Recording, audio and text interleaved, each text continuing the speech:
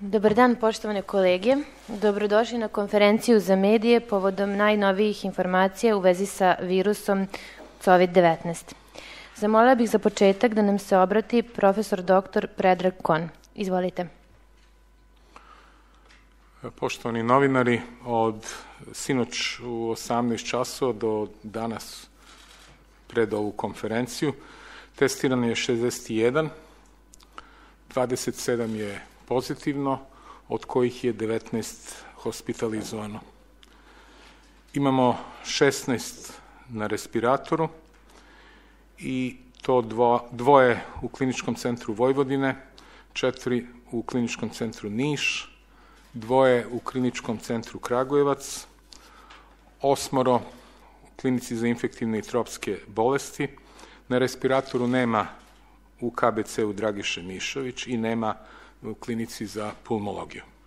Istovremeno imamo 125 hospitalizovanih trenutno u celoj Srbiji, 11 u kliničkom centru Vojvodine, 17 u kliničkom centru Niš, 9 u kliničkom centru Kragujevac, 22 klinici za infektivne i tropske bolesti kliničkog centra Srbije, 57 u kliničko-bolničkom centru Dragiša Mišović i devetoro na pulmologiji. Što se tiče boravka eksperata iz Kine, oni su danas na Vojnomedicinskoj akademiji bili pre podne u 17 časova će biti na kriznom štabu, oba krizna štaba u Palati Srbije, gde će verovatno saopštiti svoje dosadašnja zapažanja. Toliko od mene za početak. Hvala gospodine Kon. Sa nama je danas i profesor dr. Darija Kisić-Tepavčević i docent dr. Ivana Milošević sa Infektivne klinike Kliničkog centra Srbije. Zamola bih gospođu Dariju Kisić-Tepavčević da nam se obrati, posle toga možete da postavite pitanja našim govornicima. Izvolite. Pre nego što mi postavite pitanja za koje pretpostavljam da hoćete, samo da vam napomenem da sam ja lekar, da sam se čitav svoj život školovala za to, specijalista epidemiologije, da nikada nikakvu edukaciju za kontakte sa medijima nisam završila. Međutim, potpuno nam je jasno da su nam mediji neophodni i da ste nam vi zaista značajni u čitav ovoj borbi kada je u pitanju novi koronavirus. Imali ste prilike da vidite da ulažemo velike napore da vam maksimalno izlazimo u susret, da praktično u nultom vremenu vas izveštavamo o svim informacijama kojima raspolažemo.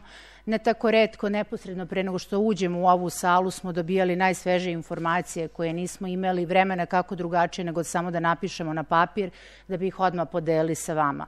To je zato što mislimo da je to jako, jako bitno. Ja sam u toku jučerašnjeg dana dala a, jednu izjavu u kojoj mi se desio jedan lapsus. Kad je u pitanju datum prvog importovanog slučajeva korona infekcije u našoj zemlji. Bili ste svedoci, a gotovo sam bila na svakoj od ovih konferencija za novinare i u različitim izjavama, da svakodnevno sa vama delimo sve podatke i tačno pričamo koji je dan i da radimo uh, različite, različite analize koje, koje imamo u tom momentu. Mene je lično pogodilo da, da, da iz svega toga što stalno pričamo i sve naše napore, da, da su se pojedini mediji uhvatili uh, za taj lapsus koji sam ja rekla. Uh, kada je u pitanju prvi importovani slučaj. Kao što znate, on se desio u prvoj nedelji marta, odnosno 6. marta. Mi smo praktično odmah tada sazvali konferenciju za, za novinare i odmah smo tada obavestili i Svetsku zdravstvenu organizaciju. Svaka naša reč i svaki broj koji, koji izjavimo, ko želi, može da proveri. Uh, ovde smo svi uh, pred istim neprijateljem i zaista treba da budemo kao, kao tim. Bilo kakva politizacija ovog pitanja ne sme da, da dođe, dođe u obzir. Ja se svima izvinjavam da je, ako je moj lapsus i kome je moj lapsus uh, uneo neki dodatni nemir, ali molim vas, razumite, shvatite nas i mi smo ljudi, sada praktično radimo 24 sata, gotovo i da i ne spavamo. To jeste naš posao. Ne bunimo se, to jeste naš posao. Želimo da opravdamo i poverenje koje nam je ukazala i naša vlada koja apsolutno sluša glas struke, a na kraju krajeva želimo da, da opravdamo poverenje i naših porodica i, i, i svih vas. Zato apelujem da nas pustite da, da radimo svoj posao. Ja sam a, dobar deo pre podneva potrošila a, da bi a, pričala, pričala sa, sa medijima, a čeka nas i tekako i mukotrpan posao. Sada, nakon ovoga, ponovo se vraćamo da, da radimo taj posao. Uh, jako, na, na terenu se uh, rade jako teška, intenzivna istraživanja uh, koja traju danonoćno. Baratamo sa različitim brojevima, različitim informacijama, a onda pokušavamo to da analiziramo, prevedemo u neke brojeve i da damo neka predviđanja i očekivanja, jer znamo da vas to interesuje. I zaista, za, zaista se trudimo da to bude tako. Tako da, da bi vas zamola da pustite da radimo svoj posao. A, mi ćemo da budemo kao i danas svakog dana ovde od 15 časova i da delimo sa vama sve one informacije koje znamo. I zaista bi želi da, da pokažemo da naš jedan timski rad, timski rad svih nas da će da uradi uh, plodom takvim da, da, da pokažemo uh, da smo jako dobar primer uh, kako se uspešno boriti sa infekcijom kao što je ova. Hvala vam. Dragi kolege, možemo da počnemo sa pitanjima. Izvolite, Tanjug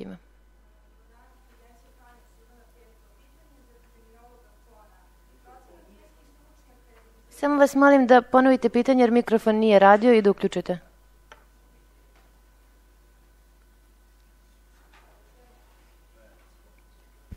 Evo.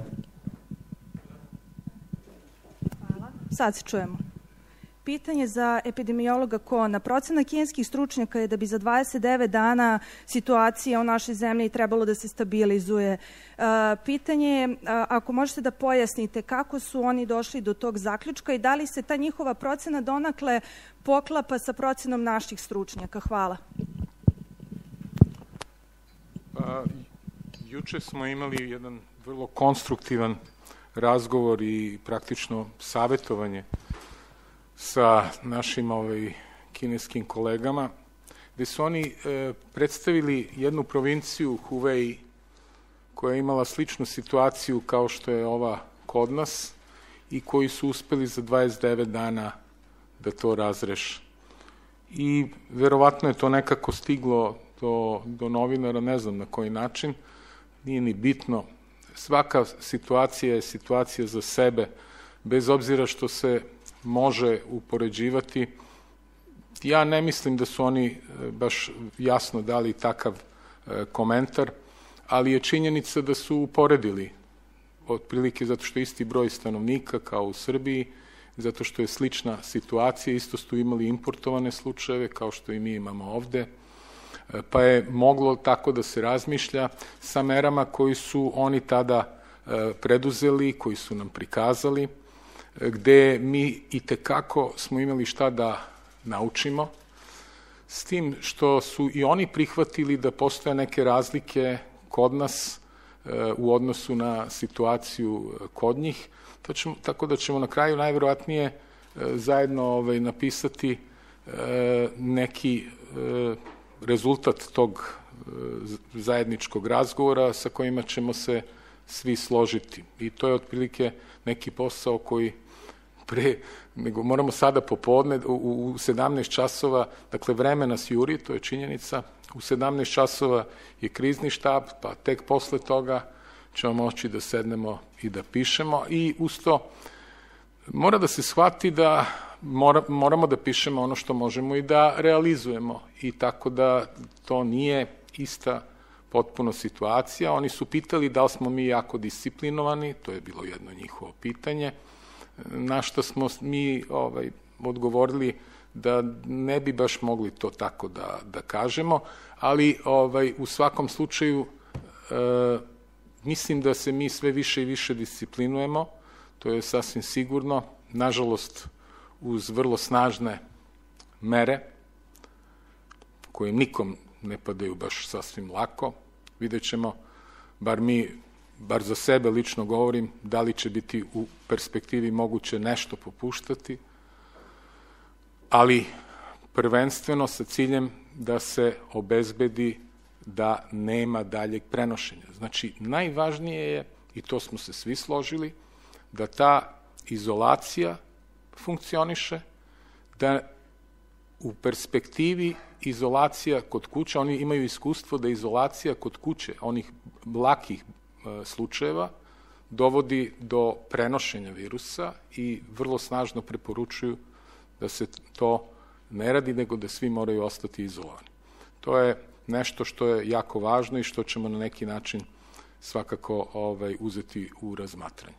Ali da ne govorimo o detaljima, jer će detalji zaista oduzeti puno vremena nama dok sastavimo, pa ćemo tek onda odgovarati kada bude to moguće. Ja bih samo dodala, u, potpuno se slažem sa svim što je kolega Kon rekao, ali opet se hvatamo za te neke brojeve, da li je to 29 dana, da li to znači ako 30. dana ne bude više bilo, da nešto nismo radili kako treba. Uh, I mi smo njih, isto kolege iz Kine, prvo pitali šta, šta misle koliko to može duže da traje, dugo da traje. Znači, kao što i vi pitate nas, zato što pokušamo, oni trenutno u stvari ne trenutno, nego jedini imaju pravo realno iskustvo sa preko 80.000 obolih a, i uspeli su da a, ugase epidemiju. Tako da su nam njihova iskustva od ogromnog značaja. I mi imamo te različite neke prognostičke modele. Dosta toga nama ide u prilog u odnosu na Kinu, smanjena gustina smeštaja nego što, nego što imaju oni. Idemo u susret, susret toplom vremenu i to, i to je što nam ide u prilog. Međutim, ta disciplina nam nikako ne ide u prilog u odnosu na, na kineski narod. Kolega juče koji je došao iz Kine napomenuo da njegovo dete tri meseca nije izašlo iz stana. Znači, ja, ja ne znam da li vi imate iskustvo nakon par dana tako sa vašom decom decom, ali većina nas nema. Znači, tako da kada se spomenju, to 29 dana a, pretpostavljamo i mislimo da, da, da su misli na taj neki period, dvostruki maksimalni inkubacioni period koji bi mogao da odgovara na tom periodu, da ako se svi pridržavamo da više nemamo taj uzlazni trend, pa nakon toga takođe treba da sledi makar toliki vremenski period uh, da, da vidimo gde, gde, se, gde se nalazimo trenutno. Tako da uh, u ovom momentu opet vas napominjem, uh, nemojte da nas vežete za bilo koji datum, bilo koji broj, radimo sve što možemo u datom momentu, a imamo sada, od kad su nam došle došle kolege iz Kine zaista najrelevantnije, najdostupnije podatke i pokušavamo koliko smo u mogućnosti da takav model ponašanja prenesemo i kod nas. Treba, treba dodati u ovom trenutku da se vidi e, njihova ozbiljna posvećenost e, tome da nam prenesu e, svoje znanje. Mislim da to možemo da se složimo. E, jednostavno, i trude se i pitaju i postavljaju pitanja i hoće da znaju e, da bi dali neke, neke svoje, e, svoja viđenja i mi to pomno, pomno slušamo. Hvala vam. Možemo dalje pitanja? E, Tihana Bajić, RTS. Dobar dan. Pitanje za epidemiologe, pa ko želi. Kakva je epidemiološka situacija u Valjevu? Tamo je virus ušao u Zavod za javno zdravlje. Kako je ušao, koliko su ugroženi zaposleni i koliko drugi građani? I drugo pitanje, e, juče su nekako e, po društvenim mrežama pre svega obišla e, je slika iz beogradskih, odnosno srpskih crkava, pričešće iz iste kašike, koliko je to opasno? Ovo prvo da. dovoljno Pa ovaj virus, kao što smo rekli, može da se pojavi bilo gde i u bilo kojom kolektivu i u bilo kojoj porodici. E, bez obzira da li se radi konkretno o nekoj zdravstvenoj ustanovi, nekoj drugoj firmi, svugde se primenjuju iste, iste mere. Najbitnije je da znate da sve osobe kod kojih je potvrđeno prisustvo ove infekcije, da da ne rade naravno, da su u izolaciji, da li kućnoj ili hospitalnoj, da su svi njihovi kontakti takođe u kuć, kućnoj izolaciji, da su urađene sve mere predostrožnosti da se to ne širi dalje. Zdravstveni radnici su nam jako bitni zato što ne smemo da dozvolimo da se u zdravstvene ustanove proširi ovaj virus jer su oni naš, naš stub odbrane i oni spašavaju živote. Tako da onda se možda to više nešto pričalo u medijima, ali napominjem da je postupak u cilju kontrole i prevencije širenja zarazne bolesti isti gde god se on javio i napominjem da niko od nas ko prethodno već nije došao u kontakt s ovim virusom pa stekao imunitet, a imamo već sada i par desetina takvih osoba, nije bezbedan i nije imun na ovu bolest. Pričešće u hrišćanstvu je svakako izuzetno značajno. Teško mi je da govorim o tome. Potpuno je jasno koje su mere propisane kao vanredne mere, a to je da nema okupljanja više od 50, to je jedna stvar. S druge strane, godinama se priča o tome da li to može da bude način prenošenja infekcije. Nikad se tu nećemo složiti i jasno je da će svaki epidemiolog reći da je to rizik. Što se tiče ovaj, nekih pokušaja, kao što se vidi u Ruskoj pravoslavnoj crkvi, da se ovaj, utapa u alkohol, e, to je jedan jedan pokušaj. Ni, ni to nije dovoljno, u svakom slučaju je neuporedivo bolje nego bez ičega. Tako da e, jasno je da, bi, da očekujemo od Srpske pravoslavne crkve, pa čak i od njenog patrijerha, da vrlo jasno da uputstvo svojim sve, sveštenstvu i svoje, svojim vernicima. Hvala vam. Izvolite dalje pitanje. Dobar dan. Pitanje za profesora Kona, Bojana Pavlović-Krik. Zanima me da li postoje već zabeleženi slučajevi izlečenih, zato što je bilo nekih nezvaničnih informacija da ima dvoje, i ukoliko postoje izlečeni slučajevi gde se oni nalaze, takođe informacija je bila da su sa kliničko bolničkog centra u Nišu, međutim tamo ne možemo da dobijemo ni jedan zvaničan odgovor za sad. Hvala. Obratili ste se doktoru Konol, odgovorit ću ja. E, to su tri bolesnika koja su lečena u kliničkom centru Srbije, u klinici za infektivne i tropske bolesti. E, njihov nastavak lečenja je sproveden u bolnici Dragiše Mišević onda kada se ta bolnica uključila i to su bolesnici koji su otpušteni posle dva negativna PCR-a, ali i pored toga u savet da se nastavi kućna izolacija 15 dana. Takođe, bilo je e, vesti da su otpušteni i iz uh, kliničkog centra u Nišu i u Novom Sadu, to ne mogu pouzdano da vam kažem, ali za ove bolesnike u Beogradu znam. Hvala vam. Izvolite dalje pitanja.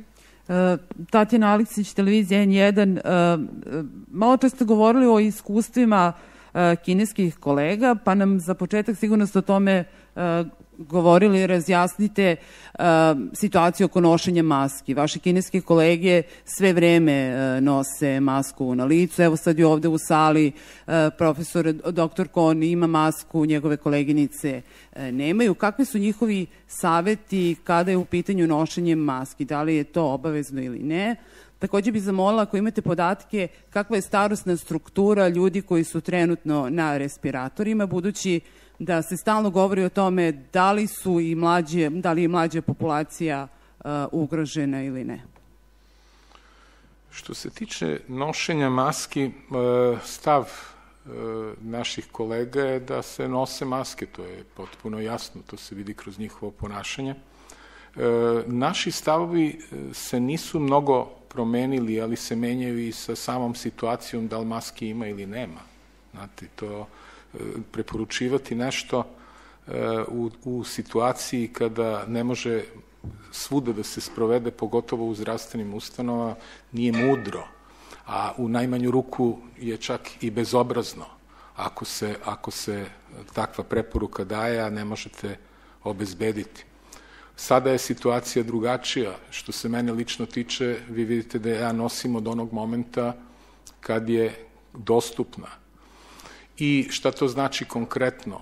U ovoj trenutnoj situaciji i tekako ima smisla u svakom zatvorenom prostoru nositi masku. Maska se svakako mora staviti ako se približavate na dva metra od nekoga, jel ne, bilo radi sobstvene bezbednosti, bilo radi ugrožavanja nekog, a da niste svesni. Prema tome, u ovoj situaciji mi nemamo ovaj, da je niko ispao iz, da kažem, svojih obaveza. E, ja sam jedino stavio ovo da bi poslao poruku. Vreme je za maske i dobro je što smo počeli da ih nosimo po, u zatvorenom prostoru. E, s druge strane, jako je dobro to što sve manje kontakata imamo, to nije dobro u socijalnom smislu, u psihološkom smislu, kako god hoćete, ali je za ovu epidemiju i za e, suzbijanje ove epidemije izuzetno važno. E, tako da, bez obzira što je to možda jako zanimljivo, jer postoje razlike, e, mi imamo čvrst stav po tom pitanju da je dva metara bezbedna udaljenost i da je nošenje maski e, na otvorenom prostoru, ako ne dolazite na dva metra e, blizinu, jednostavno nije neophodno. Ali da eventualno treba imati pri ruci masku, ako se približi neko vama, da, šta ja znam, bliže od metar, onda svakako treba imati masku, da li ste s polja, da li ste unutra, tako da se te stvari, moram da vam kažem, nikada mi nismo ovo imali i morate da razumete da i mi učimo. Da li ćete da razumete ili nećete, tako jeste. Ja bih samo dodala da sad, sad se ne pomisli da koleginca Milošević i ja ne nosimo maske zato što ih nemamo. Uh, ne nosimo zato što sada u ovoj momentu, u ovoj situaciji ne mislimo da nam je potrebno. I tako i poruku želimo da, da, da prenesemo, da uh, korišt, znači sad se nalazimo na većoj udaljenosti od dva metra od vas, nismo se ni sa kim rukovali, ni poljubili kad smo ušli u prostoriju, posle ćemo oprati ruke. Znači, maska kao opšta mera prevencije ima svoju ulogu, jako ograničenu, kao što je rekao kolega Kon, ukoliko se nalazite u zatvorenom prostoru a, gde su bliski kontakti manji od 2 metra i pre svega maska za one koji imaju simptome i maska za zdravstvene ustanove neracionalno korištenje u otvorenom prostoru za osobe koje nemaju nikakvih simptoma, e, ne samo e, da, da, da nema toliki značaj, već neka istraživanja pokazuju da nije ni toliko efikasno, recimo konkretno kada bi osoba bila u nekom inkubacijonom periodu i onda izbacivala prouzrokovača direktno u tu masku, pa ponovo bi onda udisala s te maske i na taj način povećava i infektivnu dozu.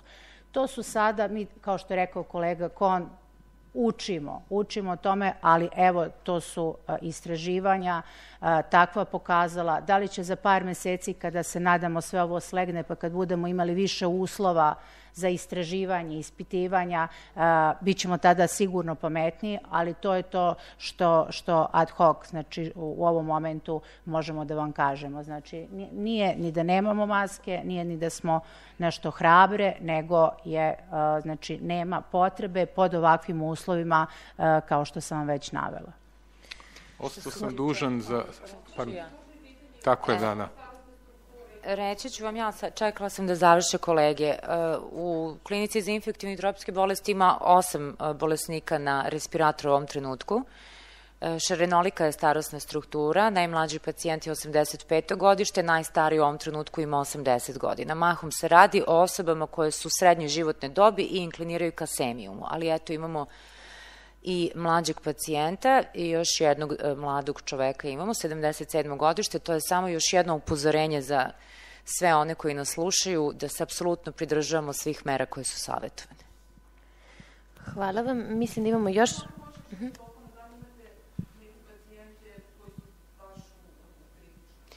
E, da vam kažem, svako ko je na respiratoru znači da mu je narušena vitalna životna funkcija, to je disanje, svaki boravak na, na mašini za veštačku ventilaciju ukazuje na potencijalnu vitalnu ugroženost. Takav pacijent može da bude stabilan u jednom trenutku i to je ono što lekari rade, da održavaju takve pacijente u stabilnom stanju, ali to je situacija koja može uvek neprijatno da iznenadi. Hvala vam. Imamo pitanje sa prve televizije. Dobar dan, Filip Vidović, prva televizija. E, svedoci smo da je ministar zdravlja Zlatibor Lončar, ako se ne varam, juče rekao da su Kinezi u principu zadovoljni e, svim merama koje je preduzela i donela vlada Republike e, Srbije. Moje pitanje je da li su kine, kineski lekari predložili neku meru eventualno koja je propuštena, odnosno koja do sada nije doneta, a oni tvrde da bi bila korisna. Hvala. E, što se tiče mera koje je vanrednih mera, oni su se sa tim potpuno ovaj, usaglasili, složili. A što se tiče ovih e, mera izolacije e, i mera ovaj, samoizolacije, dakle, na samom startu su se potpuno isto ponašali kao i mi, pa su onda došli do ovog zaključka što sam rekao, da su ti blagi slučajevi izolacije praktično zagorčali njima ovaj, da kažem situaciju i da su nakon toga rešili na striktnu izolaciju. Znači svaki oboleo zaseban, zasebna soba, odnosno ako, su, ako se zna da su svi pozitivni, onda mogu i više u istoj sobi. Ali dok se čeka neki rezultat, svako zasebnu sobu. To je, to je zahtev koji je trenutno nama vrlo komplikovan i oko čega ćemo pričati. Da li imamo još pitanja? Da. Izvolite. Aleksandar Đorđević, BIR. Ja bih samo dopunio ovo pretpošlo pitanje koje je postavila koleginica, to je da li u okviru dnevnih izveštaja koje objavljujete možete, s obzirom da to radi druge zemlje, da objavite polnu starostnu strukturu geografski raspored pacijenata za celu Srbiju, s obzirom da ti podaci ne ugrožavaju privatnost pacijenta i s obzirom da ga druge zemlje objavljuju.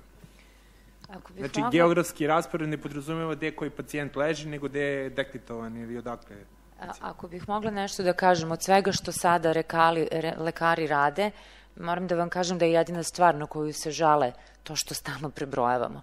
I zaista se referiše u realnom vremenu, to nemojte u ovom trenutku da očekujete od nas da radimo uz ovaj rutinski posao, ali to svakako može da se savlada iz oblasti informatike nekim pristupom. Ali molim vas, ne opterećujte nas više nego što smo opterećeni. To znači da neko ko se bavi e, kliničkim poslom treba sada to da ostavi sa strane i da prebrojava. Verujte mi, to je ono na što se kolege najviše žale.